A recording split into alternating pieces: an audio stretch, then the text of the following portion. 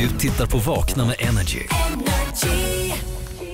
Nu, nu vill vi veta allt. Hur gick det med den där lilla bilen? Ja, hur gick det med den där lilla bilen igår?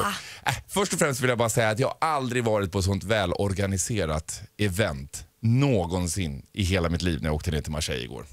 Gud vad bra. Det funkar från början till slut. Funkar från början till slut. Eh, bra transportmedel ner. Vi fick åka business class såklart. Bra transportmedel, business class, det är bara en, det är en del av ett Nej, transportmedel. men bara det att man får åka bekvämt när man ska ner på en sån här grej är ju helt underbart. Och eh, vi kommer ner på ett alldeles utmärkt fint hotell eh, strax utanför Marseille som ligger i anslutning till den här eh, banan då. Eh, Det var någon som sa hoppas inte regna för då är inte säkert att han får komma ut. Nej, deras instruktionsfilm som vi fick titta på over and over again eh, under hela dagen igår vid olika tillfällen eh, var inspelad under regn så de kör ta med tusan här i regn också men vi hade ju strålande sol.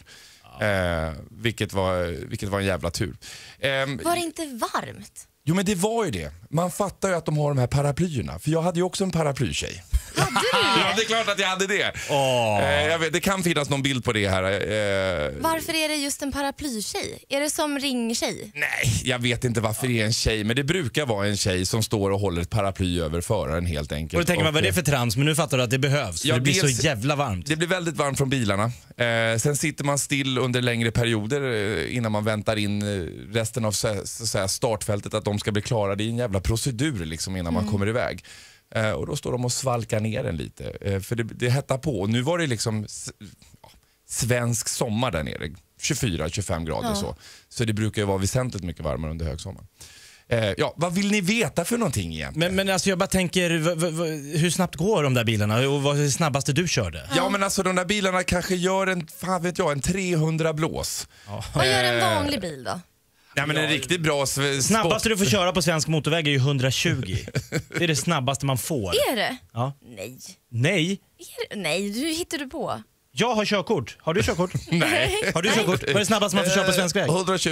Är det så? Absolut. Och så, så, så, Ja, men vad fan. så ser man lite mellan fingrarna så var man upp så, och hoops upp i 150. Men det är lite så, ja, okej. Ja, när man men då kör är om det så kanske man kommer upp på 150, så Ja, går det men ner då igen. så, då så. Ja, Ja, du åker då är dit det på lugnt. 150. Men vad körde man här i? Ja men här körde man någonstans mellan 230 och 260 om du växlade optimalt kunde du komma upp i den hastigheten. De hade ju dragit ner våra raksträckor. Vi fick ju inte åka så långa raksträckor som de gör under själva Formel 1-racet. Så att man kan Men- trycka fullt. Men det var gott nog. Eh, problemet är att du känner inte hur fort du kör när du åker Formel 1. Du har inga referensramar överhuvudtaget. Det är platt mark, du har ingen skog, du har inget litet bara- träd, du har ingen vägskylt som du känner ingen vinddrag. Nej, det är liksom bara...